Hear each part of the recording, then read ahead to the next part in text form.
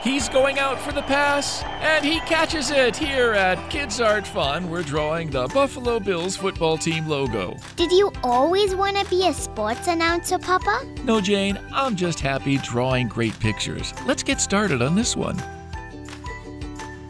Now, this picture is the picture of a buffalo, and he's lurching forward.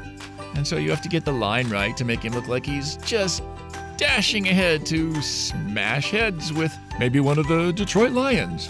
Who knows? But he's on his way. And that line through the center helps make it look like a real action. Maybe it's a jet rocket pack he's got on and he's jet rocketing through the competition. We have to tell people that there's a link under this video where they can go and print out a copy of this drawing. I think you just did that, Jane. Everybody can go there and print out a copy, and then they can color together with us at the end of the drawing.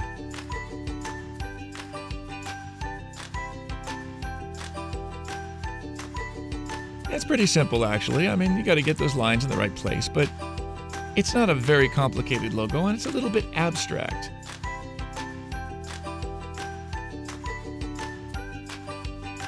A little more line detail on the inside where the red goes. Can we color this one now, Papa? We sure can, Jane. I've finished the drawing, and here we go with the coloring. I'm going fast, guys. You can pause the video. You can pause the video. Come on, don't do that, Papa. It's okay, Jane. I won't sing too much. You can just hold your ears if you'd like.